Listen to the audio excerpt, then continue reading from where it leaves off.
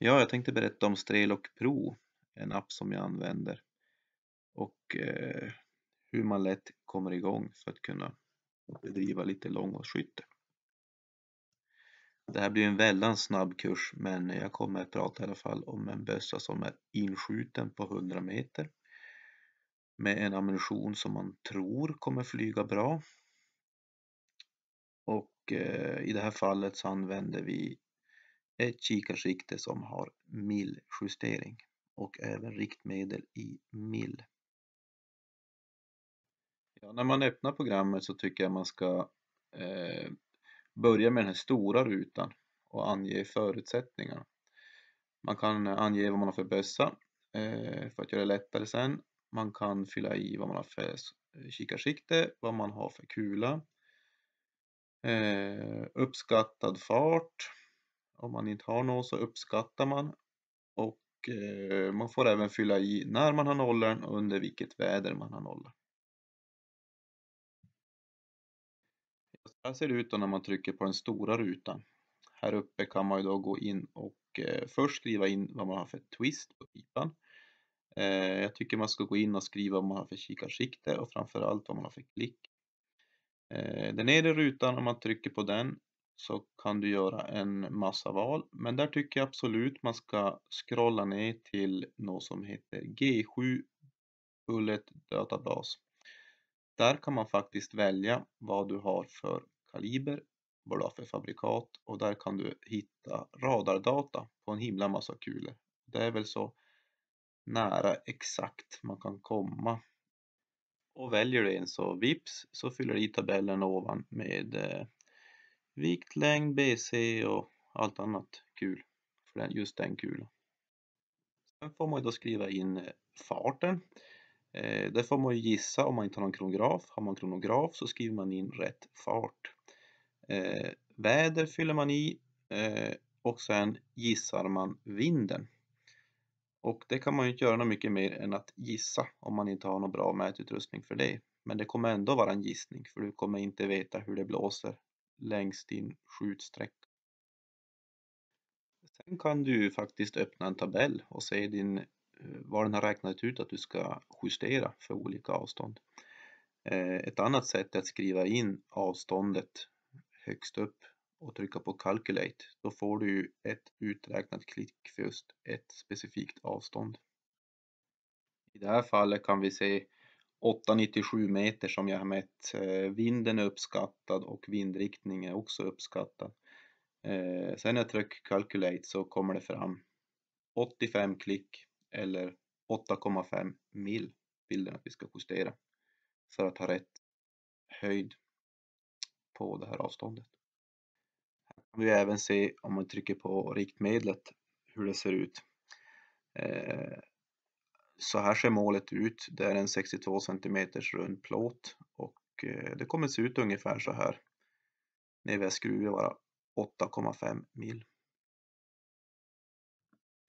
Och det här är ju då vad den tycker att jag ska hålla i vind. Det är också med här i riktmedlet.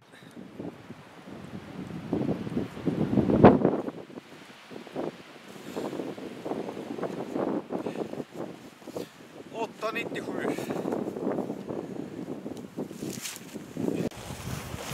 8,5.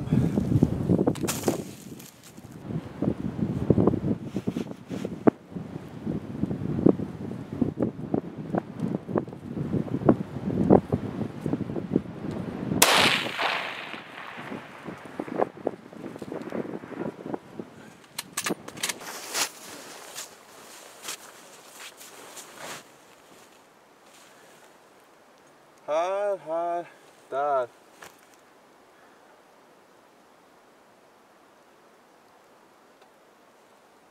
Tog tre skott av de här sista fem.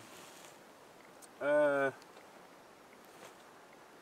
jag tror jag höll för mycket vind. Jag tror jag träffade här någonstans.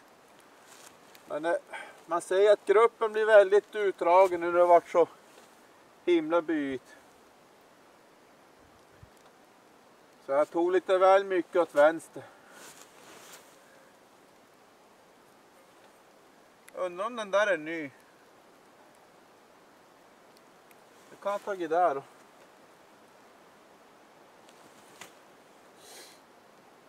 Ja, ja. Höjden verkar stämma.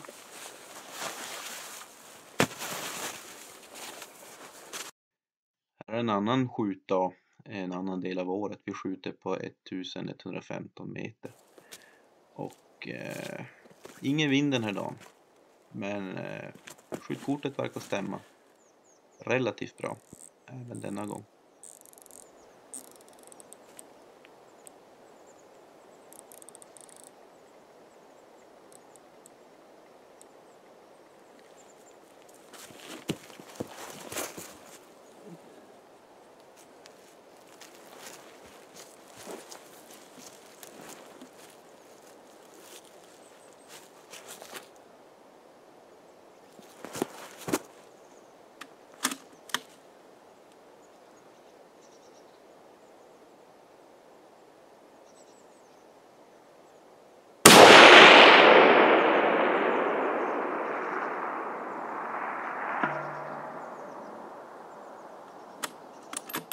Jag vet sedan tidigare att BC har stämt väldigt bra med Strelok, just i alla fall på 136 erna eh, Jag tappar lite grann på de riktigt långa hållen. Lite, lite grann, men det har nog mer att jag ligger lite fel i twist på min pipa 1.86. Den skulle jag vilja ha lite snabbare. Men det är ingen garanti att eh, BC stämmer, vad som står i appen. Så att eh, det här blir, det är en lång inskjutning alltihop speciellt när man byter kula så får man se om det stämmer men det är alltid något man måste börja med i alla fall att fylla i BC som står i allt. Sen är ju apparna väldigt roliga att sitta och pilla med i övrigt. Du kan jämföra tunga kulor med långsam fart med bättre BC och lätta kulor med högre fart. Du kan jämföra olika vapen, olika kalibrar. Eh, det är ju gratis att blippa på och se vad som är bra och vad som är dåligt.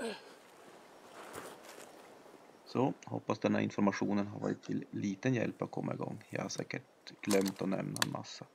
Men som sagt det här var bara en väldigt grov instruktion hur man kommer igång i alla fall med appen.